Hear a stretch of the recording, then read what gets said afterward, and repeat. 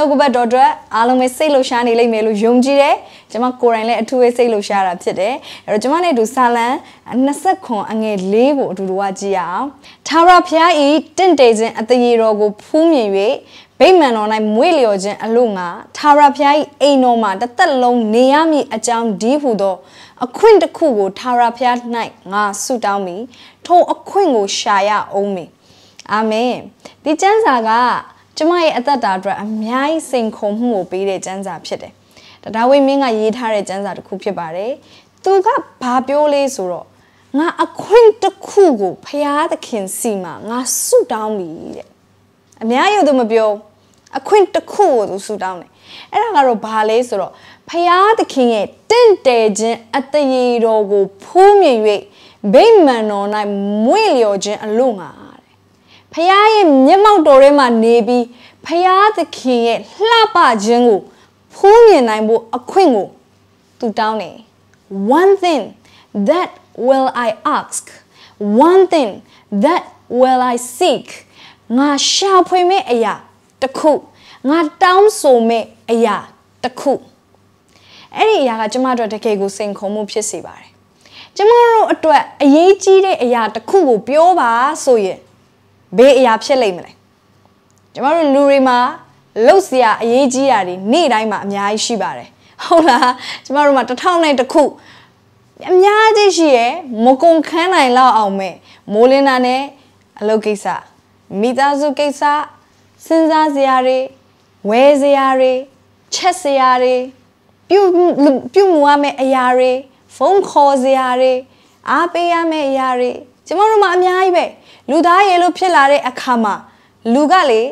ပြန်ပြီးတော့တွက်ကြည့်မယ်တနေ့ကုန်မှာကျမတို့လုပ်ခဲ့တဲ့လုပ်တွေကိုပြန်တွက်ကြည့်မယ်ဆိုရင်ခန္ဓာအယမ်းပဲများလွန်းတာဖြစ်တယ်အသက်ကြီးလာတဲ့အများသင်မှာပို့ပို့ပြီးတော့လှုပ်เสียတွေများများလာတယ်ဆိုတာမြင်တွေ့ရတယ်အဲ့ဒီပြင်ကျမတို့ကပို့ပို့ပြီးတော့ချစ်เสียတွေကလည်းများလာတယ်ဟိုဟာကြိုက်တယ်ဒီဟာကြိုက်တယ်ဒီပစ္စည်းဝယ်ခြင်းနဲ့ဖု န်းဝယ်ခြင်းနဲ့အိတ်ဝယ်ခြင်းနဲ့ဖနက်ဝယ်ခြင်းနဲ့ဟိုလူကိုချစ်တယ်ဒီလူကိုချစ်တယ်စသဖြင့်ကျမတို့မှာနှစ်သက်တဲ့အရာတွေကျမတို့လှုပ်ချင်တဲ့အရာတွေကလည်းပို့ပို့များလာတယ်အဲ့ဒီအားလုံးကလည်းကျမတို့ရဲ့အချိန်ကိုတောင်းဆိုတဲ့အရာတွေဖြစ်နေတယ်အဲ့ဒီပြင်ကျမတို့ရဲ့ဘဝမှာအရေးကြီးပါတယ်ဆိုတဲ့နေရာကိုတဖြည်းဖြည်းနဲ့သူတို့ကယူလာတာဖြစ်တယ်ကျမတို့မှာအရေးကြီးတဲ့အရာတစ်ခုကိုပြောပါဆိုရင်ရွေးချယ်စရာတွေအများပဲများလုံးတယ် ဟုတ်လားမဟုတ်ဘူးလားအမေအဲ့ဒီအဲမှာလူသားတယောက်တည်းကတယောက်ဖြစ်တဲ့ဒါဝိဒ်ကဘာပြောလဲဆိုတော့ငါရဲ့အခွင့်တစ်ခုငါတောင်းဆိုခြင်းတဲ့အရာတစ်ခုကတော့ဖရာသခင်ရဲ့လှပခြင်းကိုဖူးမြင်မှုကျွန်မယုံကြည်တယ်ဒါဝိဒ်ကစိတ်ကိုပညာရှိပြီးစိတ်ကိုဖရာသခင်ကိုချစ်တဲ့လူတစ်ယောက်ဖြစ်တယ်သူတောင်းဆိုတဲ့အရာတွေတကယ်ကိုအရေးကြီးတဲ့အရာတစ်ခုဖြစ်ပါတယ် ဒီနေ့မှာယေရှုခရစ်တော်ကဘေသနိဆိုတဲ့ရွာကိုသွားတယ်အဲ့ဒီမြို့မှာရှိတဲ့သူ့ရဲ့မိတ်ဆွေဖြစ်တဲ့မာရိမာသလာဇရုတို့စီကိုယေရှုကသွားတယ်အဲ့ဒီခါမှာအားလုံးကယေရှုလာတဲ့အတွက်အရင်ကဝမ်းသာကြတယ်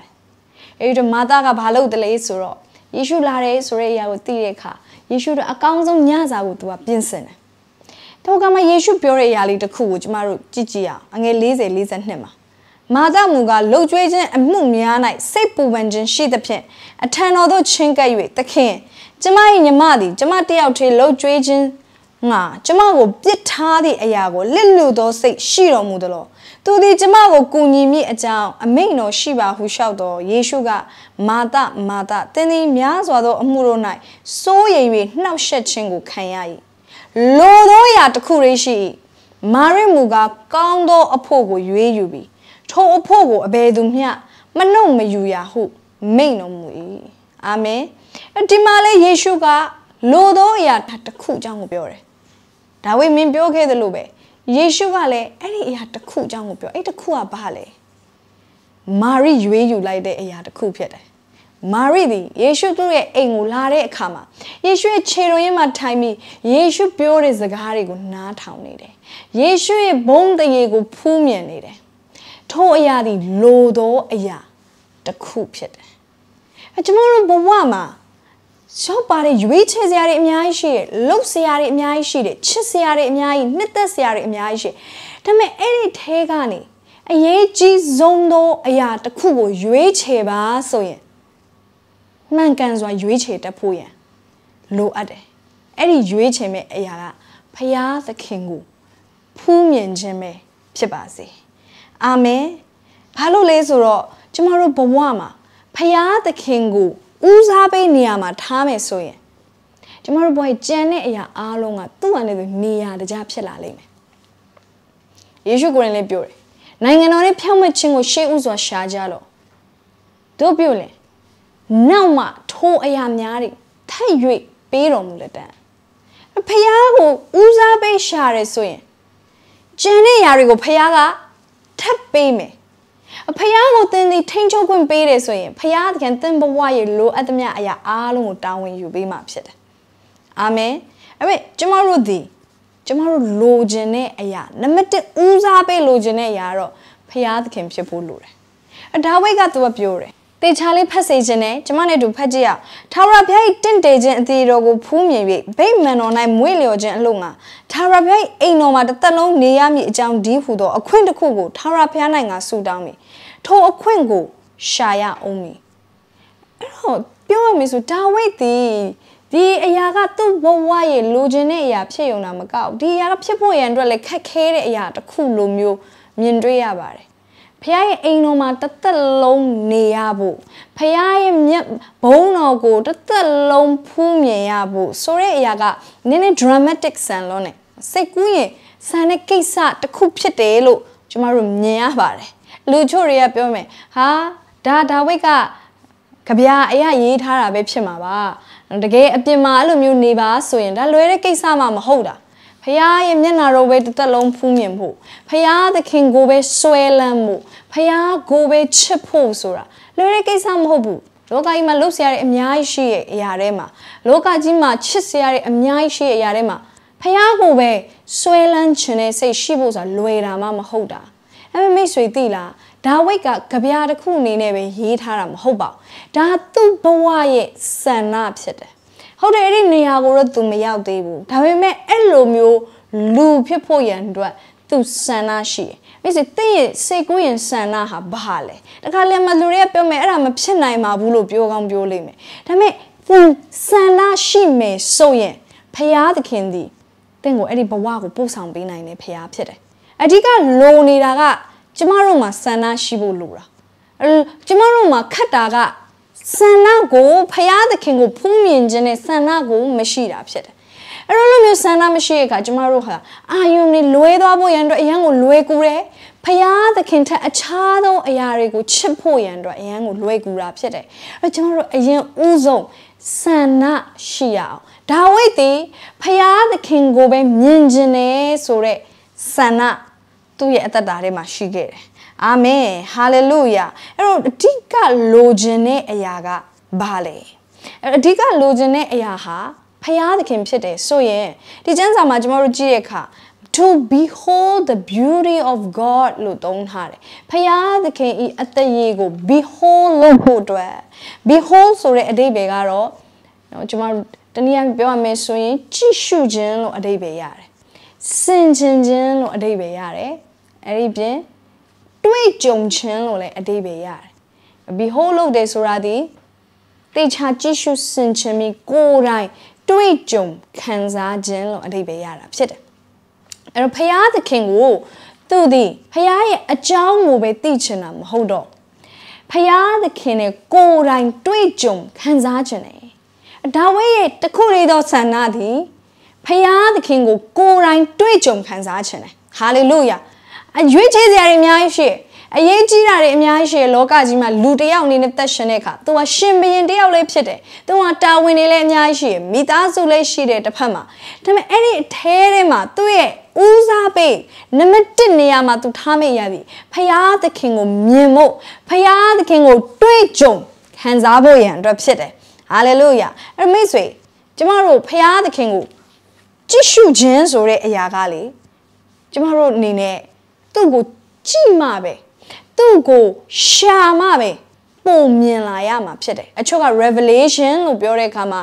ဘုရားသခင်ဖွင့်ပြချက်တွေကအလိုလိုရောက်လာမယ်လို့ထင်တာအကွက်ကိုလုံနေရင်းနဲ့ဟလာကိုနေရင်းထိုင်ရင်းနဲ့ဘုရားကလာပြီးဖွင့်ပြချက်တွေပေးမယ်လို့ထင်တဲ့လူအချို့တွေရှိမိတ်ဆွေကျွန်မပြောပြခြင်းနဲ့ဘုရားသခင်ဒီကျွန်မတို့ကိုတစ်ဖက်သက်ဖွင့်ပြတဲ့အလုပ်မျိုးကိုလုပ်မှာမဟုတ်ဘူးဖရာသခင်ကကျမတို့သူ့ကိုရှာတဲ့အခါကျမတို့သူ့ကို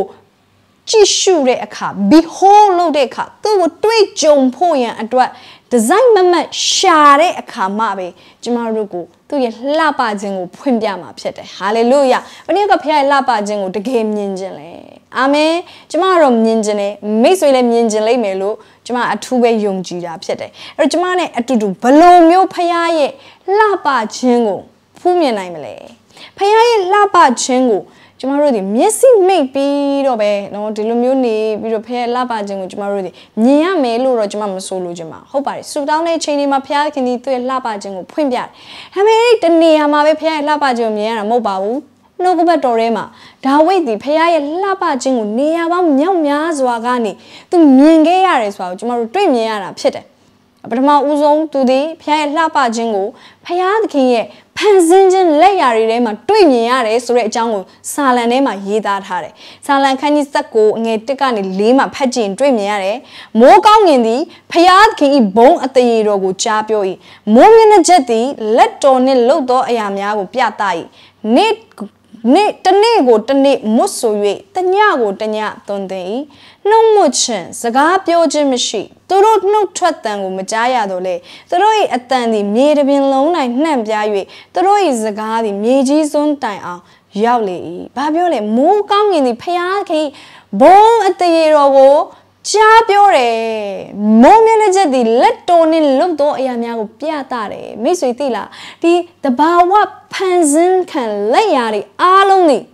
ဖယားသခင်ရဲ့ဘုံတရေကိုကြားပြောနေတာဖြစ်တယ်ဖယားသခင်ရဲ့လှပခြင်းကိုကျမတို့ရဲ့ပတ်ဝန်းကျင်မှာရှိတဲ့အရာတွေကိုကြည့်ရင်မြင်ရတယ်အဲ့တော့ကျမတို့ဒီဖယားရဲ့ဘုံတရေကိုဖူးမြင်ခြင်းဆိုတာဒီကျမတို့အသက်ရှင်ခြင်းနေ့ရက်စင်တိုင်းသွာလာလှုပ်ရှားခြင်းတိုင်းမှာမြင်တွေ့ရနိုင်တာဖြစ်တယ်အဲ့မဲ့လောတာဘာလဲကျမတို့ကရှာဖွေဖို့ပဲကျမတို့က နေစဉ်သွားလာတဲ့အခါမှာဖះကိုရှာရမယ့်အစားဘာကိုပဲရှာလဲဆိုတော့အဲ့ဒီဖန်ဆင်းခံလက်ရာတွေအပေါ်မှာပဲတက်မှတ်ပြီးတော့ပြီးသွားတယ်ဒါမှတိတ်ကိုဝမ်းနေစရာကောင်းတယ်ကျမတို့ဖန်ဆင်းခံလက်ရာတွေကိုနှစ်သက်ပြီးတော့ပဲပြီးသွားတယ်အဲ့ဖန်ဆင်းခံလက်ရာတွေရဲ့နောက်ွယ်မှာရှိတဲ့ဖန်ဆင်းရှင်ဖះကိုမြင်ရမှာ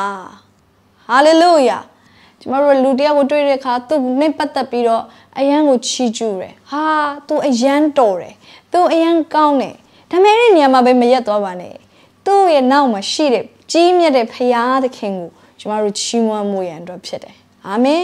အချို့သောနော်ဒီခေတ်ကြီးမှာရှိ technologies တွေသိကောင်းပါတယ်ဒါပေမဲ့ဒီနေရာရဲ့နောက်ကွယ်မှာရှိတဲ့ဖရာသခင်ကြီးမြတ်ခြင်းကိုကျမတို့မြင်ဖို့ရန်အတွက်လိုအပ်တယ်ဟာလေလုယာအဲကျမတို့ဒီတကယ်ဒါဝိဒ်လိုမျိုးနှလုံးသားသာရှိမယ်မှန်နေဆိုရင် ဒါဝိဒ်ကဖယားသခင်ရဲ့ဘုန်းတော်ကိုဖူးမြင်ဖို့ရန်အတွက်ပဲဆန္ဒရှိတာဖြစ်တဲ့အတွက်သူဘာကိုပဲမြင်မြင်ဖယားသခင်ကိုပဲသူမြင်နေတာဖြစ်တယ်အာမင်ကျွန်တော်တို့လည်းအဲ့လိုဆန္ဒရှိမယ်ဆိုရင်သင်မှာအခွင့်တစ်ခုကိုသာသင်လိုချင်တာမှန်နေဆိုရင်သင်ဒီဘာကိုပဲမြင်မြင်တဘာဝဖယားကဖန်ဆင်းထားတဲ့လက်ရများအားလုံးထဲမှာဖယားခင်ကိုသင်ဒီတွေ့မြင်လာရမှာဖြစ်တယ်ဟာလေလုယာ အာမင်ကျွန်တော်ရဲ့နှလုံးသားကလေတကယ်ကိုဆွဲလန်းတဲ့အရာကိုကိုမြင်နိုင်တဲ့သဘောရှိတာဖြစ်တယ်ကိုဆွဲလန်းတဲ့အရာကိုကိုတကယ်မြင်နိုင်တယ်ကျွန်တော်တို့တကယ်တမ်းတော့ဒါဝိဒ်က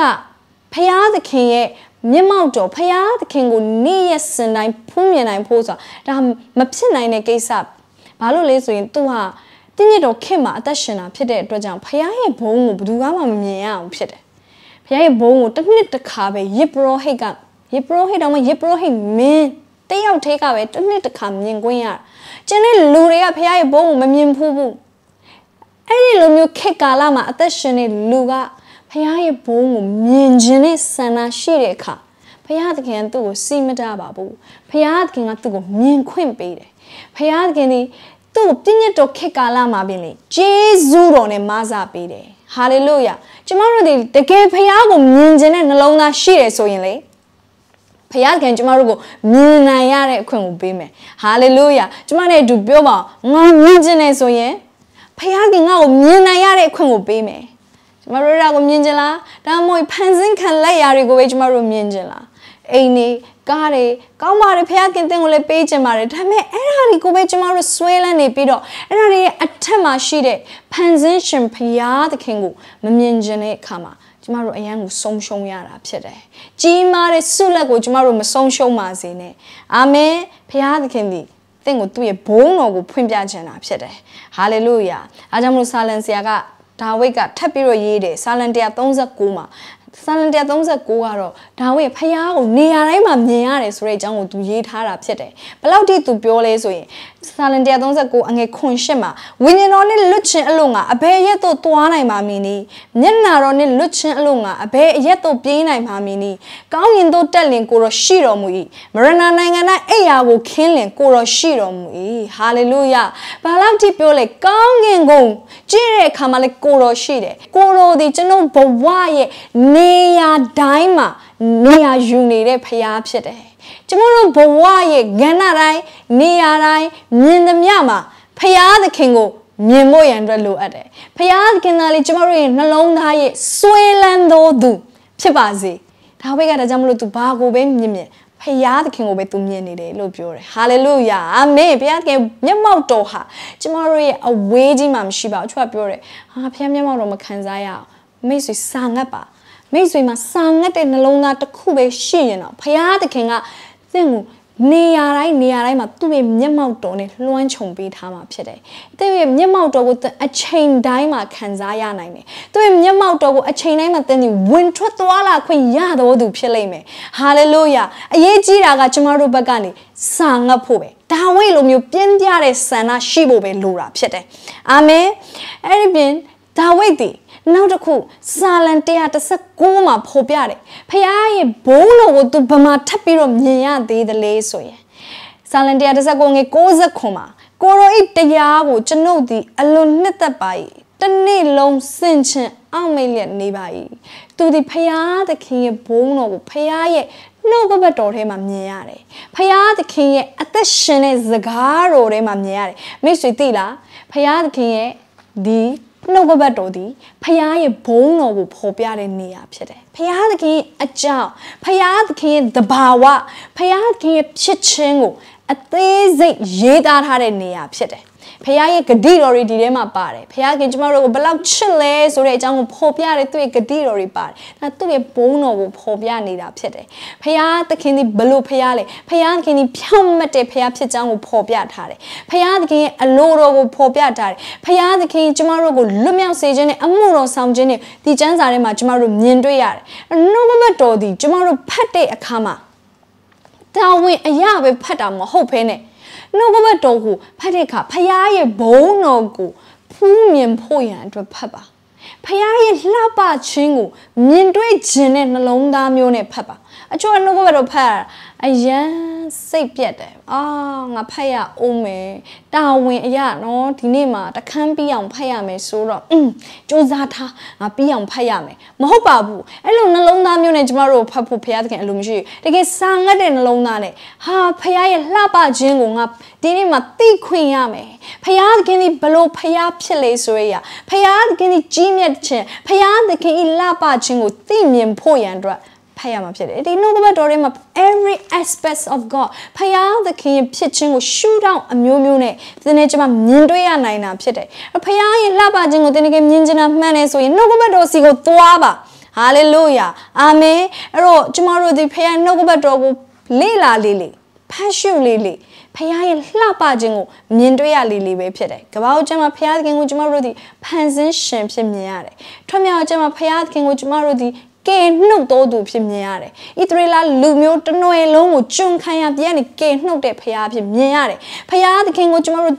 စံစာတအုပ်လုံးမှာကြည့်ကြည့်တဲ့အခါမှာအကြီးမြတ်ဆုံးသောဖရားဖြစ်မြင်ရတယ်။လူတွေကိုးကွယ်ခြင်းကိုခံထိုက်တဲ့ဖရားအဖြစ်မြင်ရတယ်။ဖရားသခင်ဟာ သွန်သင်ပေးသောဖခင်အနေနဲ့မြင်ရတယ်ဖခင်သည်အမွေပေးသောသူအဖြစ်ကျမတို့မြင်ရတယ်ဖခင်သည်စစ်တိုက်ပေးသောဖခင်အဖြစ်ကျမတို့မြင်ရတယ်ဖခင်သည်ကြီးမြတ်တဲ့တရားသူကြီးအဖြစ်ကျမတို့မြင်ရတယ်ဖခင်သည်ကောင်းသောခေါင်းဆောင်တစ်ယောက်ဖြစ်မြင်ရတယ်ဖခင်ကိုကျမတို့ဖြောင့်မတ်သောသူလူတွေဘက်ကနေပြီးဖြောင့်မတ်ခြင်းနဲ့တရားစီရင်ပေးသောသူအဖြစ်တရားသူကြီးအနေနဲ့ကျမတို့မြင်ရတယ်ဖခင်သည်ချစ်တတ်သောသူ တာဝန်ယူတတ်သောခင်ပွန်းတစ်ယောက်အနေနဲ့ကျမတို့မြင်ရတယ်ရှောလမုန်တခြင်းမဒီတိုင်းပဲသူ့ရဲ့သူတို့သမီးကိုချစ်တဲ့အတွက်တာဝန်ယူခြင်းနဲ့ပြင်ဆင်ပေးတဲ့သူတို့သားကိုကျမတို့မြင်တွေ့ရအဲ့တော့တကယ်ပဲဖရာသခင်ကိုကျမတို့ဘုန်းတော်ကိုတကယ်သိချင်တယ်သူ့ရဲ့လှပခြင်းကိုဖူးမြင်ခြင်းနဲ့ဆိုရင်နှုတ်ကပတ်တော်စီကိုလာခဲ့ပါချစ်တဲ့စိတ်နဲ့နှုတ်ကပတ်တော်စီကိုလှမ်းလာဖို့ရန်အတွက်လိုအပ်တယ်ဟာလေလုယာကျမရင်တော့က ဖခင်ကဘလောက်လှပလဲဖခင်ဘလောက်ကြီးမြတ်လဲဆိုတာကျမမသိခဲ့ဒါပေမဲ့ကျမဒီနှုတ်ကပတ်တော်ကိုသိလာလေလေကျမကိုယ့်ကိုမတတ်နိုင်တော့ဖြစ်တယ်ဖခင်ရဲ့ကြီးမြတ်ခြင်းဖခင်ရဲ့တက်ဆွမ်းနိုင်ခြင်းကိုကျမဘလုံးမမျက်ွယ်ပြုတ်လို့မရတော့ကျမခက်ခဲတဲ့အချိန်မှာလေကျမယုံကြည်ခြင်းမရှိနဲ့လို့လာတားလို့မရတော့ ကျမကိုဘာဖြစ်လို့သူကအဲ့လောက်ထိယုံကြည်ခြင်းရှိနေတာလဲဘာတွေထူးခြားနေလဲကျမရဲ့အသက်တာထဲမှာထူးခြားရတဲ့တစ်ခုပဲရှိအဲ့ဘာလဲဆိုဖခင်ရဲ့နှုတ်ကပတ်တော်ကိုကျမသိတော့ကြောင်းဖြစ်တယ်ဖခင်ရဲ့နှုတ်ကပတ်တော်ကကျမရဲ့အထဲထဲမှာရှိနေတဲ့အတွက်ဖခင်ဘသူလဲဆိုတာကျမကောင်းကောင်းသိတယ်အဲ့တော့မိတ်ဆွေသင်ရဲ့ထဲထဲမှာနှုတ်ကပတ်တော်ရှိလာရင်သင်ဟာဘလို့နီးနဲ့မှမဖြစ်နိုင်ဘူးဆိုရရောက်ပြောရလို့ မဖြစ်လာတော့သင်ဟာဘလို့နီးနဲ့မှမကောင်းပြောရသူမဖြစ်လာတော့ဘာကြောင့်လဲဆိုတော့ဖရာသခင်နှုတ်ကပတ်တော်ကသူ့ဘသူလဲဆိုတာကိုဖော်ပြတဲ့နေရာဖြစ်တယ်။နှုတ်ကပတ်တော်ရဲ့အနည်းဆုံးကိုလာခဲ့ပါ။အာမင်။နှုတ်ကပတ်တော်ကိုဖတ်ပါ။ဖရာသခင်ရဲ့လှပခြင်းအတရေကို behold လုပ်ပါ။နှုတ်ကပတ်တော်ထဲမှာရှာဖွေပါ။အာမင်။အဲ့ဒီပြင်ဖရာရဲ့လှပခြင်းကိုကျမတို့စာလံ145မှာလေစာလံဆရာဒါဝိဒ်က ဖူးမြင်ရတယ်ဆိုတဲ့အကြောင်းပြောထားတယ်။စာလင်145အငယ်3ကနေ5မှာသာရဖျားသည်ကြီးမြတ်၍အလွန်ချီးမွမ်းပွဲဖြစ်တော်မူ၏။ကြီးမြတ်တော်မူခြင်းကိုစိတ်၍မကုံနိုင်။လူမျိုးတော်တို့ကိုအမျိုးအနွယ်အဆက်ဆက်တို့သည်ချီးမွမ်း၍တကိုးတော်များကိုဟောပြောကြပါလိမ့်မည်။အကျွန်ုပ်သည်ဘုံတကိုးအာနုဘော်ကို၎င်းအံ့ဘွယ်သောအမှုတော်တို့ကို၎င်းမွတ်ဆိုပါမည်။စာလန်ဆရာသည် ဖះရဲ့ကြီးမြတ်ခြင်းကိုဖះသခင်ကိုချီးမွမ်းကိုးကွယ်ခြင်းထဲမှာသူမြင်တွေ့ရတဲ့အကြောင်းကိုရေးသားထားတာဖြစ်တယ်။ ဆာလန်ဆရာဒါဝိဒ်ကသူကသူ့ဘဝရဲ့အခြေအနေတိုင်းမှာဖះရဲ့လှပခြင်းကိုသူရှာဖွေမယ်လို့သူဂရိပေးထားတယ်။ဆာလန်ခုနကတော့20ခွန်မှာဂရိပေးထားတာဖြစ်တယ်။အဲ့ဒီအတိုင်းပဲသူတကယ်ပဲရှာဖွေတယ်။မနဲ့မိုးလင်းတာနဲ့သူပထမဦးဆုံးဖះသခင်ကြီးမြတ်ခြင်းကိုသူချီးမွမ်းတယ်။ဟာလေလုယာဘလို့ချီးမွမ်းလဲထာဝရဘုရားသည်ကြီးမြတ်တော်မူ၏အလွန်ချီးမွမ်းဖွယ်ဖြစ်တော်မူ၏ကြီးမြတ်တော်မူခြင်းကိုစစ်၍မကုံနိုင်မိတ်ဆွေသိလား ဖယားသခင်ကိုတင်ဒီချီးမွမ်းလေလေဖယားသခင်ရဲ့ကြီးမြတ်ခြင်းကိုတင်ဒီရှာဖွေလေလေစစ်လို့မကုံနိုင်လေလေပဲစစ်လို့မကုံနိုင်ဘူးဆိုတာကဘာလဲဆိုတော့ပြောပြလို့မကုံနိုင်ဘူး။သင်ချီးမွမ်းတဲ့လူဖြစ်တယ်ဆိုရင်သင်မှာချီးမွမ်းစရာအမြဲတမ်းရှိနေတယ်။ဟာလေလုယာ။အာမင်အသင်ကချီးမွမ်းတဲ့လူဖြစ်တယ်ဖခင်ကိုရှာတဲ့လူဖြစ်တယ်ဆိုဖခင်ခင်တဲ့ဘယ်တော့မှ boring မဖြစ်စေအမြဲတမ်းဖခင်ခင်မှာအသက်တော်ဖွင့်ပြချက်တွေ သူ့ရဲ့သားသမီးတွေအတွက်ရှိနေတယ်ဖခင်ရဲ့လှပခြင်းဆိုတာကကျမတို့ကိုဘယ်တော့မှမယိုးဤသွားစေနိုင်ဘူးအမြဲတမ်းမှာတာပြီးဖွင့်ပြခြင်းတွေရှိနေတယ်တာပြီးလှပခြင်းတွေကိုကျမတို့အတွက် ဖွင့်ပြဖို့ရန်ဖခင်ကပြင်ဆင်ပေးထားတာဖြစ်တယ်ဟာလေလုယာအဲ့ဒီအကြောင်းကိုဆာလန်ဆရာပြောနေတယ်သူဒီဖခင်ကိုချီးမွမ်းကိုးကွယ်လေလေဖခင်ကြီးမြတ်ခြင်းကိုသူမြင်ရလေလေအဲ့ဒါကိုမြင်ရလေလေဖခင်ကိုသူကပို့ပြီးတော့ချီးမွမ်းကိုးကွယ်လေလေဟာလေလုယာအဲ့ဒီအရာကကျမတို့သက်တာထဲမှာတကယ် circle လို့ပဲเนาะဒီတန်တရားဆက်ဝန်းလို့ပဲဖခင်ကိုချီးမွမ်းလေလေပို့ပြီးချီးမွမ်းခြင်းလေလေချီးမွမ်းလေလေပို့ပြီးချီးမွမ်းစရာရှိလေလေချီးမွမ်းစရာရှိလေလေဖခင်ကိုပို့ပြီးတော့ချီးမွမ်းလေလေဟာလေ လုယာအဲကြောင့်မို့ကျမတို့ဒီဖရာသခင်ရဲ့လှပခြင်းကိုတကယ်ပဲမြင်တွေ့ခြင်းနဲ့ဆိုဖရာကိုချီးမွမ်းကိုးကွယ်တဲ့အသက်တာမှာကျမတို့ဆက်လက်ပြီးတော့အသက်ရှင်ရမှာဖြစ်တယ်။ဒါကြောင့်မလို့ဒါဝိဒ်ကအဲ့လိုချီးမွမ်းတဲ့အခါဘာဖြစ်လဲဆိုရင်ဆာလံ119အငယ်66မှာခတ်သိမ်းသောစုံလင်ခြင်းဤအဆုံးကို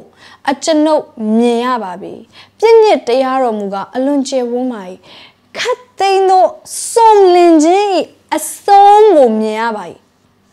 ဒါဝိဒ်ဒီ perfection ဆိုတဲ့အရာကိုသူမြင်ခွင့်ရခဲ့တယ်စုံလင်ခြင်းရဲ့အဆုံးမိတ်ဆွေစဉ်းစားကြည့်ပါထိုအရာဒီဘလောက်တော့လှပတဲ့အရာဖြစ်လိမ့်မလဲစုံလင်ခြင်းရဲ့အဆုံးဆိုတာဒီအလွန်ပြည့်စုံခြင်းဖြစ်တယ်စုံလင်ခြင်းတွေအားလုံးထဲမှာတော့မှအဆုံးအာမင်အဲ့ဒါကိုသူမြင်ခွင့်ရခဲ့တယ်သူဘာကိုမြင်ခွင့်ရရလဲဆိုတာကိုတော့ကျွန်မမသိဘူးဒါပေမဲ့ scholar တွေကခန့်မှန်းတဲ့အရာကတော့ သူဒီသူခေတ်ကာလမှာပင်နေတနေ့မှာယေရှုခရစ်တော်ဒီဒုတိယအကြိမ်ကြွလာပြီယေရုရှလင်မြို့မှာအုပ်ဆိုးမဲ့အရာကိုသူမြင်တာဖြစ်ကောင်းဖြစ်လိမ့်မယ်ခံမှန်းကြတယ်ဒါမှမဟုတ်ရင်လေသူဒီတနေ့မှာထာဝရကာလမှာဖရာသခင်မျက်မှောက်တော်တွေမှာကျမတို့အားလုံးဒီကိုးကွယ်ရမယ်24နာရီ9ရက်ကိုးကွယ်ရမယ်ဆိုတဲ့အရာကိုသူမြင်တာလည်းဖြစ်ကောင်းဖြစ်နိုင်တယ်ဒါကြောင့်မလို့ဒါဝိဒ်ကသူ့ရဲ့တက်တာမှာ ဖရာသခင်ရှေ့မှောက်မှာ24နာရီ9ရက်ကိုးကွယ်တဲ့စနစ်ကိုအစပြုခဲ့တာဖြစ်တယ် ထာဝရကာလနဲ့ဆိုင်တဲ့အရာကိုသူဒီသူခက်ကာလမှာခရိကအစပြုခဲ့ဘာဖြစ်လို့လဲဆိုတော့သူဖခင်ရဲ့စုံလင်ခြင်းရဲ့အဆုံးကိုသူမြင်ခွင့်ရခဲ့လို့မိစေတိလားကျမတို့ဒီဖခင်ကိုရှာလီလီဖခင်ခင်ဒီတား၍နက်နေတဲ့အရာတွေကိုဖွင့်ပြလီလီပဲအာမင်ကျမတို့အဲ့ဒီနက်နေတဲ့အရာတွေကိုမြင်ခြင်းနဲ့ဆန္ဒရှိဖို့ရန်အတွက်လိုအပ်တယ်ဟာလေလုယာအဲ့နက်နေတဲ့အရာတွေကိုကျမတို့မြင်နေဆိုမြေကြီးမှာကျမတို့ဘာတွေလုပ်ရမလဲဆိုတာပို့ပြီးတော့သိလာလိမ့်မယ်ကျမတို့ရဲ့အသက်ရှင်ခြင်းရဲ့အတိတ်ပဲကိုပို့ပို့ပြီးတော့နားလည်လာမှာဖြစ်တယ်ကျမတို့ကလူသားကလေကျမတို့ရှာတဲ့အရာကကျမတို့အသက်ရှင်တဲ့အကြောင်းအရင်းပဲဖြစ်တယ်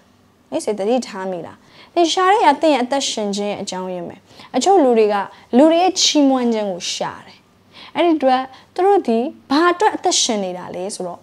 လူတွေအတွက်အသက်ရှင်နေတာဖြစ်တယ်မိတ်ဆွေစဉ်းစားကြည့်ပါကျမတို့ဘဝမှာ လူတွေအတွက်အသက်ရှင်ဖို့ရန်အတွက်ကျမတို့ဘဝကြီးတစ်ခုလုံးကိုပေးဆက်ဖို့ရန်အတွက်တန်သလားဒီလူတွေရဲ့မိတ်ဆွေအတွက်ထာဝရရှိပေးနိုင်မှာမဟုတ်မိတ်ဆွေခက်ခဲခြင်းတွေထဲမှာသူတို့ကူညီနိုင်မှာမဟုတ်ကျမတို့အတွက်အသက်ပေးပြီးတော့ကေတင်တဲ့ဖယားကိုသာကျမတို့ရဲ့အသက်ရှင်ခြင်းအားလုံးကသူ့အတွက်ဖြစ်တဲ့နေမဟုတ်ဘူးလားအာမင် ကျမတို့ရဲ့အသက်ရှင်ခြင်းကဖရားအတွက်ဖြစ်တယ်ဆိုရင်ကျမတို့ရှာတဲ့သူကလည်းဖရားသခင်ပဲဖြစ်တဲ့နာဖြစ်တယ်အာမင်အဲ့တော့ကျမတို့ကကိုရှာတဲ့အရာကကိုအသက်ရှင်နေခြင်းဖြစ်တယ်ဆိုတာကိုသိပါကျမရဲ့ခံယူချက်ကတော့ကျမရဲ့ယုံကြည်ချက်ကတော့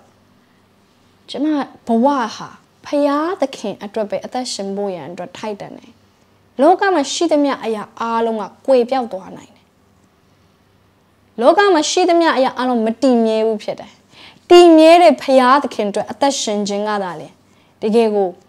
ဒီဘဝကြီးတစ်ခုလုံးကိုပေးဖို့ရန်အတွက်ထိုက်တန်တယ်လို့တော့ကျွန်မကတော့မြင်တယ်။မိတ်ဆွေတင်းရဲ့အသက်တာမှာလည်းတင်းကိုအသက်ပေးပြီးကေတင်တဲ့ဖရာအတွက်အသက်ရှင်ပါ။ထိုဖရာကိုပဲရှာပါ။တင်းရှာတဲ့ຢာကတင်းအသက်ရှင်ခြင်းအကြောင်းရင်းပဲဖြစ်တယ်။အာမင်။အဲ့တော့ဒါဝိဒ်ကသူ့ရဲ့ရှာဖွေခြင်း သူ့ရဲ့ရှာဖွေခြင်းကဖရာသခင်ဖြစ်တဲ့အခါဖရာသခင်ပို့ပြတဲ့စုံလင်ခြင်းရဲ့အစုံကိုသူမြင်ခွင့်ရခဲ့တယ်အာမင်ကျမတို့ဒီလေထိုရကိုမြင်ခွင့်ရရအောင်ရချင်တဲ့သူတွေဖြစ်ရအောင်အာမင်အဲ့ဒီအဲ့ဒီအရာကိုမြင်လေလေသိရင်အသက်ရှင်ခြင်းနေ့ရက်တိုင်းဟာအတိတ်ပဲရှိလေလေဖြစ်လာလိမ့်မယ်ဖရာသခင်ရဲ့ဘုန်းတော်ကိုကျမတို့ဒီကောင်းတဲ့အချိန်လေးတွေမှာပဲမြင်ရတာမဟုတ်ပါဘူး ဖခင်ရဲ့ဘုန်းတော်ခက်ခဲမှုတွေထဲမှာလေကျမတို့မြင်ရနိုင်တယ်။ဒါဝိဒ်ကခုနကတော့ကသူပြောတဲ့ဆာလ20ခုသူရေးခဲ့တယ်။တခုကိုငါရှာရအောင်မယ်လို့သူပြောခဲ့တဲ့အရာဟာသူစင်ပြေနေတဲ့အချိန်မှာပြောတာမဟုတ်ပါဘူး အဲ့ဒီအချိန်တွေဟာသူ့အတွက်ရန်သူတွေဝန်းရံခြင်းကိုသူကြုံနေရတဲ့အချိန်ဖြစ်တယ်။အငယ်နှစ်ကိုကျမတို့ပြန်ကြည့်ကြည့်မယ်ဆိုရင်ငါ့ကိုအညွန်းထားသောရန်သူလူဆိုးတို့သည်ငါအသားကိုကိုက်စားမည်ဟုလာကြသောအခါခြေတိုက်မိ၍လဲကြ၏။ငါတစ်ဖက်၌တက်ချကြတော့လေငါနှလုံးမကြောက်တတ်စစ်ချီ၍လာကြတော့လေထိုအမှုတွင်ပင်တည်ကြည်သောစိတ်ရှိလိမ့်မည်။ထာဝရဘုရား၏တင့်တယ်ခြင်းအသေးတော်ကိုဖူးမြင်၍ဗိမာန်တော်၌မွေ့လျော်ခြင်းအလို့ငါထာဝရဘုရား၏အိမ်တော်မှာတစ်သက်လုံးနေရမည်အကြောင်းဒီဟုသောအခွင့်တစ်ခုကိုထာဝရဘုရား၌ငါဆုတောင်းပြီ။အဲ့ကြည့်ကြည့်ပါသူဒီပါပြောလေငါ့ကိုအညှိုးထားတဲ့ရန်သူလူဆိုးတွေကငါအတော့ကိုက်စားမယ်ဆိုပြီးလာကြတဲ့အခါတဲ့အဲ့တော့သူဒီတကယ်တမ်းတော့အချိန်မှာရန်သူတွေနဲ့သူကြုံနေရတယ်သူ့ကိုကိုက်စားမဲ့သူတွေသူ့ကိုခြေတိုက်ဖို့ရန်အတွက်လုံနေတဲ့သူတွေစသဖြင့်သူဒီသူ့ရဲ့တစ်ဖက်မှာရန်သူတွေများစွာရှိနေတယ်အမေအဲ့ဒီအခြေအနေထဲမှာသူရှာတဲ့ຢာကပါလေ ဖယားသခင်ကိုရှာအဲ့တော့ကျမတို့ဒီဖယားရဲ့ဘုန်းတော်ကိုပြည့်တနာတွေထဲမှာပင်လင်ရှာနေဖို့ရန်အတွက်လိုအပ်တယ်အာမင်ဖခင်ဘုန်းတော်ကိုကျမတို့ဒီဆူတောင်းတဲ့ချိန်မှာမြင်ရနိုင်တယ်ချီးမွမ်းကိုးကွယ်တဲ့ချိန်မှာမြင်ရနိုင်တယ်ဒါပေမဲ့ limit မလုပ်ထားပါနဲ့အဲ့ဒီချိန်တွေဒါမကောက်ပြဿနာတွေကြားထဲမှာလည်းဖခင်ရဲ့ဘုန်းတော်ကိုသင်ဒီမြင်တွေ့ရနိုင်တယ်ဒါဝိကဖခင်ရဲ့ဘုန်းတော်ပြဿနာတွေကြားထဲမှာသူရှာတယ်အဲကြောင့်မလို့သူကဖခင်သခင်ကို ဘေးရောက်သည့်ကာလမှာတဲတော်ရင်ငါ့ကိုကြွေကာထားတော်မူ၏လို့ပြောတယ်ဘာဖြစ်လို့ तू အဲ့လိုပြောနိုင်တယ်လေဆိုတော့ तू ဘေးရောက်တဲ့ကာလမှာဖះကိုပဲ तू ကြည်နေလို့ဖြစ်တယ်ကျမတို့ကဘေးရောက်တဲ့ကာလမှာဆိုရင်ဖះကိုအပြစ်တင်နေမှာသိချတယ်ဖះသခင်ဘေးရောက်နေလေကျွန်တော်ဘာဖြစ်လို့ဒါတွေကြုံတွေ့စေတာလဲ ဒါဝိတ်ကတော့လို့မပြောဘူးဖះသခင်ငါ့ကိုဘေးရောက်တဲ့ကာလမှာတဲတော်မှာကွဲကာတဲတော်ဆိုတာဘာလဲဖះရဲ့မျက်မှောက်တော်ရှိတဲ့နေရာဖြစ်တယ်အာမင်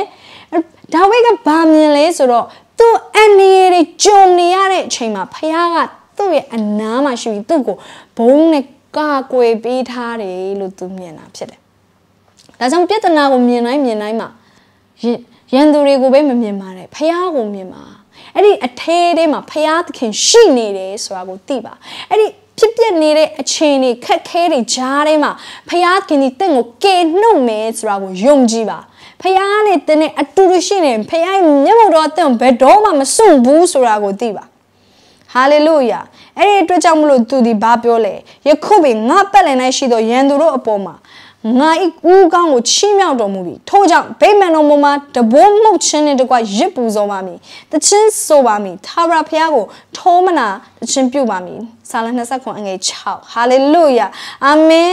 ဖျားခင်သည်ငါ့ကိုကာကွယ်ပေးတဲ့ဖျားဖျားခင်သည်ငါ့ကိုအောင်မြင်စေတဲ့ဖျားဖျားခင်သည်ငါ့ကိုနမိတ်လက္ခဏာပြုပေးမဲ့ဖျားလို့ဒါဝိဒ်မြင်တယ်ဒါဝိဒ်ကဂေါလိယက်ကိုချတဲ့အခါမှာ ဂေါလိယက်နဲ့သူရင်ဆိုင်တဲ့အခါမှာဂေါလိယက်ကိုသူမကြောက်ဘူးဘာဖြစ်လဲဆိုသူသိရပြက်တနာကြားထဲမှာဖရာသခင်ရှိတယ်ဖရာသခင်ဒီငါ့ကိုဒီဂိုးလေးရဲ့ရန်ကနေငါ့ကိုအောင်မြင်စေမယ်ကိုလေးကြည့်ခါရန်သူကအရန်ကြီးတယ်နော်လို့သူမမြင်မဲနဲ့ငါဖရာကအရန်ကြီးတဲ့အတွက်ငါ့ကိုကြီးမားတဲ့အောင်မြင်မှုပေးတော့မယ်လို့သူကမြင်တယ် အဲ့တော့ကျွန်တော်တို့ဒီဖရာသခင်ရဲ့ဘုန်းတော်ကိုနေရာတိုင်းမှာရှာတယ်ဖရာသခင်ရဲ့လှပခြင်းကိုအခြေအနေတိုင်းမှာမြင်တတ်မယ်ဆိုရင်ပြဿနာတွေကိုကျမတို့ဟာကြောက်စရာမလိုတော့ပြဿနာတွေကကျမတို့အတွက်ဖះမျက်မှောက်တော်ကိုသေဆောင်လာပေးတဲ့အရာတစ်ခုလိုတော့မှကျမတို့ရဲ့အသက်တာထဲမှာဖြစ်နေမှာပြဿနာတွေကတင်းတဲ့ဖះကိုမဝေးစေဒါကြောင့်မလို့ပိုးလူကပြောနိုင်တာဖြစ်တယ်အနှိမ်ဖြစ်စေအမြင့်ဖြစ်ပါစေ ဘေးအရာကမှဖះရဲ့ချစ်ချင်းနဲ့ငါနဲ့ကိုမကွာစေနိုင်ဘူးဖះရဲ့မျက်မှောက်တော်ရရဲ့ငါကိုဘေးပြဿနာကမှထွက်သွားအောင်လုပ်လို့မရအောင်ဘာဖြစ်လဲဆိုတော့ငါအခြေအနေတိုင်းမှာဖះကိုပဲရှာတဲ့လူဖြစ်နေတဲ့အတွက်ကြောင့်ဟာလေလုယာအာမင်ဒါဝိဒ်ကတကယ်ပဲဖះမျက်မှောက်တော်အခြေအနေတိုင်းမှာသူရှာတဲ့အတွက်ဖះမျက်မှောက်တော်လည်းသူနဲ့အခြေအနေတိုင်းမှာရှိတယ်တရက်မှာရှောလူကသူ့ကိုစစ်သားထောင်နေချီနဲ့လိုက်ပြီးတော့ရှာတယ် တောထဲမှာပုံးနေတဲ့အချိန်မှာမိတ်ဆွေစဉ်းစားကြည့်ပါလူထောင်နဲ့ချီကတင့်ကိုတကယ်သာလိုက်ရှာတယ်တက်ဖို့အတွက်တကယ်သာလိုက်ရှာတယ်ဆိုပုံးလို့ဆိုတော့ဘလို့မှမဖြစ်နိုင်ပါဘူးရှောလို့ကရှင်ဘရင်လေပြီးတော့ရှောလို့ရဲ့စစ်သားတွေကလည်းတာမန်စစ်သားတွေမဟုတ်ပါဘူး training ခံထားရတဲ့လူတွေဖြစ်တယ်အဲ့ဒီအတွက်ဒါဝိဒ်ကိုလိုက်ရှာတယ်ဆိုတာသူ့အတွက်ပုံးမလွယ်ဘူး တနေ့မှဆိုရင်ဘလောက်ထိနီးကပ်လာလဲဆိုတော့သူနေတဲ့နေရာနဲ့ဂေးတစ်ပြစ်လောက်မှရှိတဲ့နေရာမှာရှော်လူရောက်လာတယ်။အမေအံ့ဩစရာကောင်းတယ်။သူတည်းတဲ့အချိန်လေးထဲမှာဖះကိုပဲရှာတယ်။သူပြောတယ်လက်ရဘက်မှာလူတစ်ထောင်လက်ဝဲဘက်မှာလူတစ်တောင်းလဲတော်လေငါ့ကိုမထိမခိုက်ရ။အာမင်။သူ့ရဲ့ယုံကြည်မှုကအဲ့လိုမျိုးဖြစ်တယ်။အဲ့တော့သူ့ကိုဖះကဖះရဲ့မျက်မှောက်တော်နဲ့ကာကွယ်ပေးတယ်။အဲ့ဒီဂေးတစ်ပစ်စာလောက်မှရှေရှောလူနေရန်သူတွေဘာဖြစ်သွားလဲသိလား။အိပ်ပျော်သွားကြတယ် ဟန်ဝိုးစရာကောင်းတယ်ဘသူကအိပ်ပျော်မှလဲတိုးထဲမှာအိပ်ပျော်ရင်လည်းတယောက်လောက်အိပ်ပျော်ရင်အိပ်ပျော်မှာပေါ့စစ်သားအားလုံးကနစ်နစ်ချိုက်ချိုက်တိုးထဲမှာအိပ်ပျော်ဖို့ဆိုတာဘလို့မှမဖြစ်နိုင်ဘုရားသခင်ကြီးသူတို့ကို deep sleep နစ်ချိုက်စွာအိပ်ပျော်စေတာဖြစ်တယ်တကယ်တော့ရှင်မင်းပါလာတာရှင်မင်း body gut တွေကတော့အနည်းဆုံးမအိပ်သင့်ဘူးဖြစ်တယ်ဟုတ်လားမဟုတ်ဘူးလားဒါပေမဲ့ဘုရားသခင်ကြီးကာကွယ်ပေးတဲ့အခါမှာဖရာသခင်ရဲ့နမိတ်လက္ခဏာနဲ့ကာကွယ်ပေးခြင်းကိုဒါဝိဒ်ခံစားရတယ် အားလုံးလည်းဒီဖြစ်ပျက်ကိုသိပါတယ်ဒါဝိဒ်ကအဲ့ဒီမှာသွားပြီးရှောလူရဲ့ဝိယုံအစွန်အဖျားလေးကိုသူလှီးပြီးတော့ပြန်ပြီးတော့လာခဲ့တယ်ကြည့်ကြည့်ပါဖခင်ကဘလောက်ထိရန်သူရဲ့လက်ထဲကနေကျမတို့ကာကွယ်ပေးလဲရန်သူနဲ့အနီးဆုံးနေရာရောက်သွားတာတော့ရန်သူရဲ့အဝတ်ကိုဖြတ်တယ်ဆိုရင်တော့အနည်းဆုံးဘေးကလူတွေနိုးလောက်တယ်ဒါပေမဲ့အံ့ဩစရာကောင်းတယ်ဖခင်ရဲ့မျက်မှောက်တော်ကသင်နဲ့အတူရှိနေရန်သူတွေနဲ့အနီးကပ်ဆုံးကာလမှာပင်လေသင်နဲ့အတူရှိရဆိုသင်ဟာလုံခြုံတာဖြစ်တယ် ဟာလေလုယာအဲ့ဖခင်ရဲ့လှပခြင်းကိုအချိန်ဒီတိုင်းမှာကျမတို့ဒီဖူးမြင်ဖို့ရန်အတွက်လိုအပ်တယ်အဲ့ဒီအရာကိုကျမတို့ဆန္ဒရှိမယ်ဆိုရင်ဖခင်ရဲ့ဘုန်းတော်ကလည်းသင်နဲ့အတူတူအမြဲတမ်းရှိနေမှာဖြစ်တယ်အဲ့တော့ကျမမေးခြင်းနဲ့မေးခွန်းကမိတ်ဆွေသင်ဖခင်သခင်ကိုရှာတဲ့သူလားကျမတို့တကယ်ပဲဖခင်ကိုရှာနေရဲ့လားဦးစားပေးရှာတဲ့သူဖြစ်ရဲ့လားကျမတို့ရဲ့ one thing ကဘာလဲအခွင့်တစ်ခုကိုသာ တောင်းမယ်ဆိုရင်သင်ဘေးအခွင့်ကိုတောင်းပါလေဖခင်ရဲ့လှပခြင်းအတရေကိုဖူးမြင်မှုတောင်းပါလားဒါမှမဟုတ်လောကရဲ့ပိုင်ဆိုင်မှုတွေအတွက်ပဲကျမတို့တောင်းနေအောင်ပါလား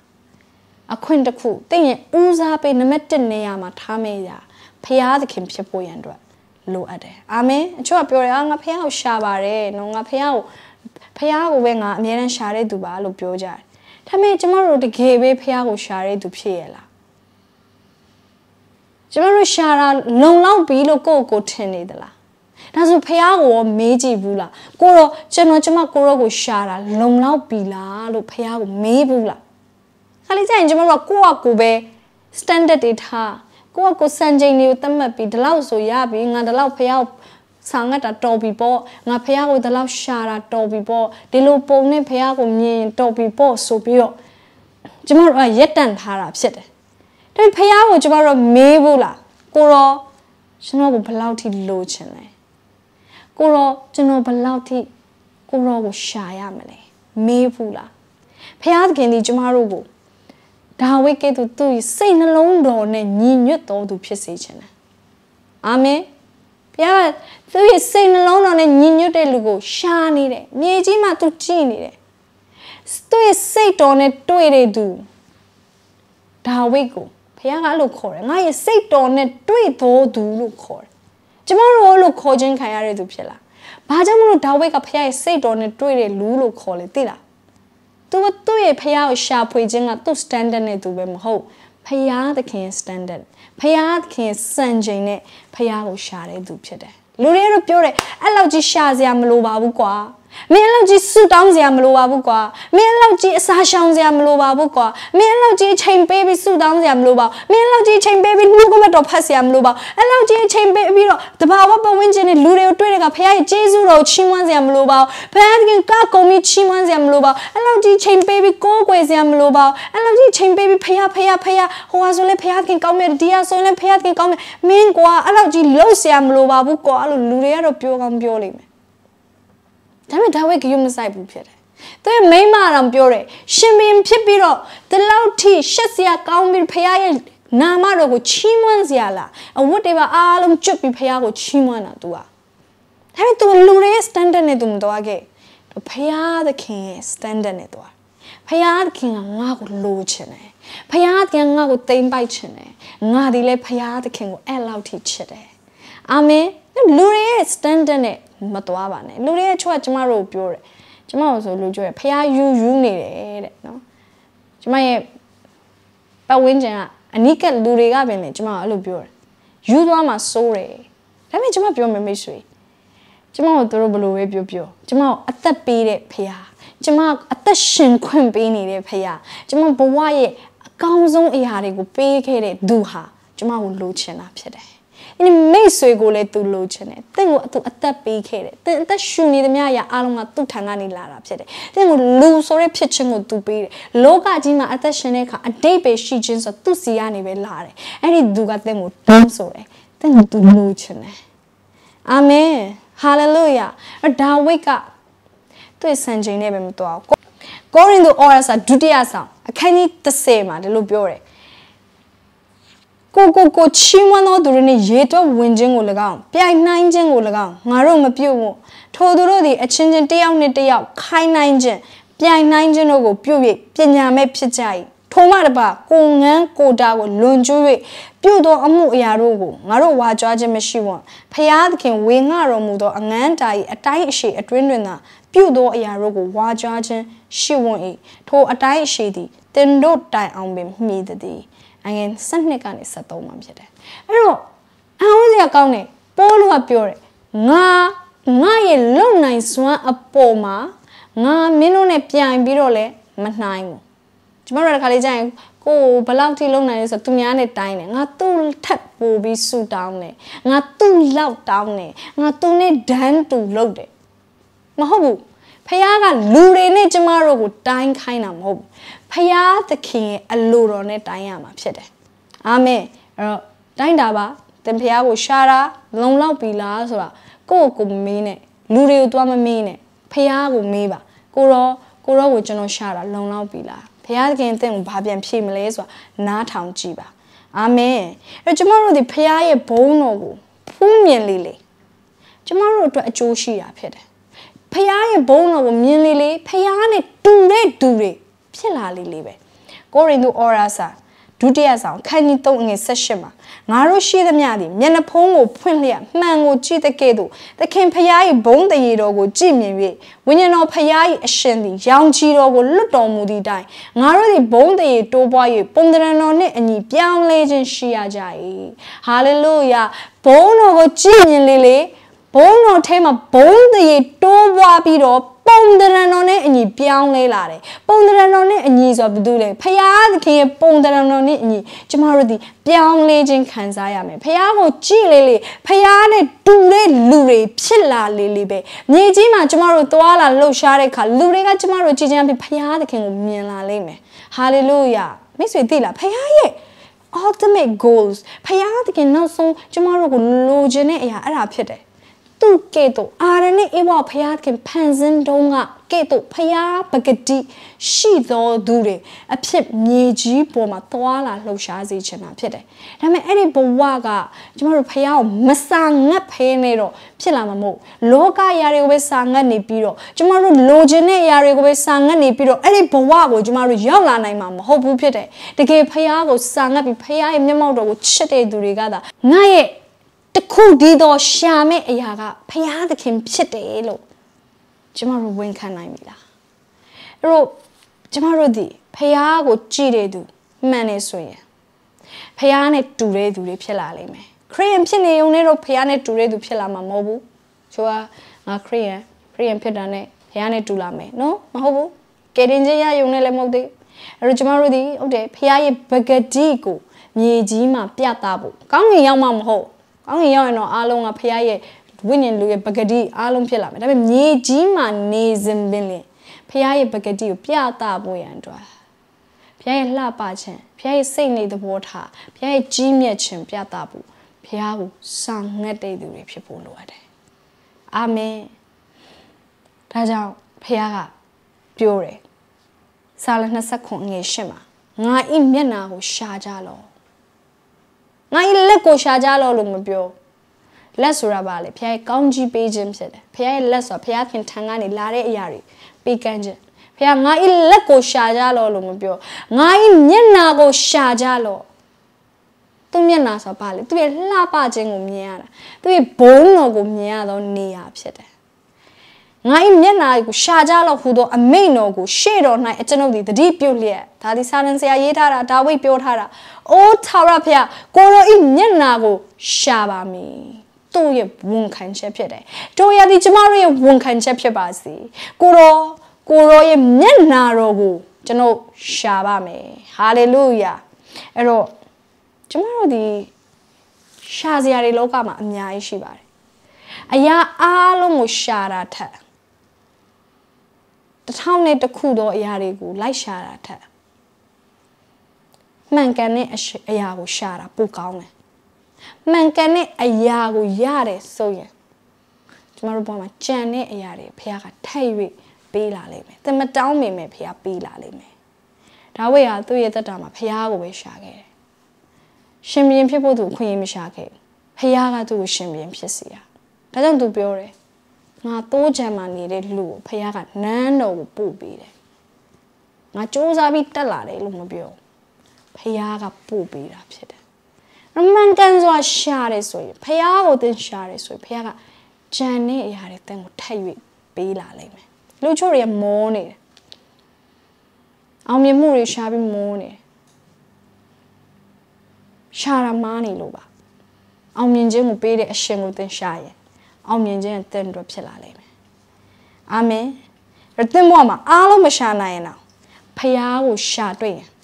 အားလုံးကိုသင်ရှာတွေ့တာ ਨੇ အတူတူပဲဖြစ်တယ်မှန်ကန်သောအရာကိုရှာရအောင်လို့အားလုံးကိုတိုက်တွန်းချင်တာဖြစ်တယ်ကျမနဲ့အတူတူဆူတောင်းရအောင်ဖះခင်ဒီကျမတို့ကိုမှန်ကန်တဲ့အရာကိုရှာတဲ့နှလုံးသားပေးဖို့ရန်အတွက်ကျမပြောမိတာစိတ်ကူးရင်အရန်ဆန်တဲ့ကိစ္စဖြစ်တယ်လို့ပြောကမပြောလိမ့်မယ်ဒါပေမဲ့မိတ်ဆွေသိလား ဒါဝိတ်ကရှာခဲ့တယ်သူဆန္ဒရှိခဲ့တယ်သူစတဲ့အချိန်မှာကတော့စိတ်ကူးရင်တတ်တတ်ပဲလို့ထင်ကထင်စရာအကြောင်းရှိပေမဲ့သူဒီနောက်ဆုံးမှာဖခင်ရဲ့ပြည့်ပြည့်စုံခြင်းကိုမြင်ခွင့်ရတဲ့သူတယောက်ဖြစ်လာတယ်ဝိညာဉ်တော်ဖခင်နဲ့ဖခင်သခင်ရဲ့ဂျေဇုတော်ကကျမတို့ဆန္ဒရှိတယ်ဆိုရင်မြင်နိုင်ဖို့ရအခွင့်ပေးမှာဖြစ်တယ်ဟာလေလုယာအဲ့ဒီတော့ကျမတို့ဆုတောင်းကိုရောအဲ့ဒီစာငတ်မှုနှလုံးသား ပေးပါအဲ့ဒီအရာတစ်ခုကိုပဲဖခင်ရဲ့လှပခြင်းကိုမြင်ခြင်းနဲ့ဆန္ဒတစ်ခုကိုပဲကျွန်တော်ရဲ့အထဲမှာပေးပါလို့အားလုံးတူတူကဆုတောင်းရအောင်ဟာလေလုယာခေလာဘယန္ဒလာဘရှန္ဒရာဘယန္ဒရာဘရှိဒေဒေဒေဒေခိုရီယန္ဒလာဘရှာခလာဘရေထလာမယန္ဒစီရီယန္ဒလာဘရေပပပပပပပပပပပပဝရမယန္ဒလာဘရှိရီယန္ဒလာဘခလာဘယန္ဒလာဖဖရသခင် ကိုရောကျွန်တော်တို့ရဲ့အသက်တာထဲမှာလူရဲလို့ဖြစ်လာတဲ့အခါမှာစဉ်းစားစရာတွေရှာဖွေစရာတွေအယမ်းများပါတယ်။အမေအဲ့ဒီအထဲမှာကိုရောကိုရှာခြင်းနဲ့နှလုံးသားကျွန်တော်တို့ကိုပေးပါ။ကိုရောမျက်မှောက်တော်ကိုအရာအားလုံးထဆွဲလန်းတော်သူတွေဖြစ်စေပါ။ကျွန်တော်တို့အသက်ရှင်ခြင်းအကြောင်းရင်းကကိုရောပဲဖြစ်စေချင်ပါတယ် အခြားသောအရာတွေအတွက်အသက်ရှင်ဖို့ရန်အတွက်မထိုက်တန်ပါဘူးကိုရောအတွက်ပဲကိုရောကိုရှာဖွေဖို့အတွက်အသက်ရှင်နေသူတွေဖြစ်စေပါအဖဖရားသခင်ကိုရောကသာလေကျွန်တော်တို့ရဲ့ချစ်ချင်းဆွဲလန်းခြင်းအားလုံးကိုခံထိုက်တာဖြစ်ပါတယ်ဒါကြောင့်ကျွန်တော်တို့တယောက်ချင်းစီနှလုံးသားကိုမီးနဲ့တို့ပြီးတော်မူပါမီးနဲ့တို့ထိလျက်ကိုရောအတွက်အမြဲလောင်တော်သူတွေဖြစ်စေပါတနေ့တာပဲရှာတဲ့သူတွေမဟုတ်ပါဘူးတဘဝစာထာဝရကာလထိတိုင်အောင် ရှာဖွေသောသူများဖြစ်ပါမိကြောင်းကျွန်တော်တို့စက္ကပ်ပါတယ်ဖျားသခင်သူတို့ကိုရောကိုရှာတဲ့အခါမှာမြင်နိုင်ဖို့ဓမ္မစတော်မူပါကိုရောကိုရှာတဲ့အခါစိတ်နှလုံးအကျွမ်းမဲ့ရှာတော်သူတွေဖြစ်စေပါကိုရောကိုရှာတဲ့အခါမှာကိုရောဒီသူတို့ကိုတဆင်မီတဆင်ဆွဲခေါ်လျက်ဖျားသခင်ဘုံတော်ထဲမှာတာ၍နက်နေရာတွေကိုမြင်ရတဲ့အခွင့်ကိုပေးတော်မူပါကျွန်တော်တို့ရှာဖွေခြင်း process ထဲမှာဂျေဇုတော်ကမာစပေးပါ ဂျေဇုတော်ကအရောက်ချင်းစီတိုင်းကိုသူတို့ရဲ့ဆန္ဒရှိသည့်အတိုင်းဖះကိုမြင်တွေ့စေပါမိကြောင်းဖះရဲ့ဝိညာဉ်တော်သည်မြင်တွေ့စေပါမိကြောင်းကျွန်တော်တို့စက္ကန့်အနံလေးဆူတောင်းပါတယ်ကိုရောကိုချစ်ပါ၏ကိုရောသားလည်းကျွန်တော်ရဲ့နှလုံးသားဖြစ်ပါ၏အရာခတ်သိမ်းထဲမှာကိုရောကိုရှားပါတယ်ကိုရောမျိုးရဲ့တက်တာကိုစက္ကန့်အနံဆူတောင်းတဲ့အခါမှာယေရှုဖះနာမ၌ဆူတောင်းပါတယ်ဖာအာမင်အာမင်ဟာလေလုယာ ဖခင်ဂတိပေးတဲ့အတိုင်းပဲသူ့ကိုရှာတဲ့သူတွေကတွေးလိုက်မယ်လို့ဂတိပေးတဲ့အတိုင်းပဲမိတ်ဆွေဖခင်သခင်ကိုနည်းနည်းစွာတွေးရှိပါစေအရောက်ချင်းစင်ကိုဖခင်ကောင်းချီးပေးပါစေ။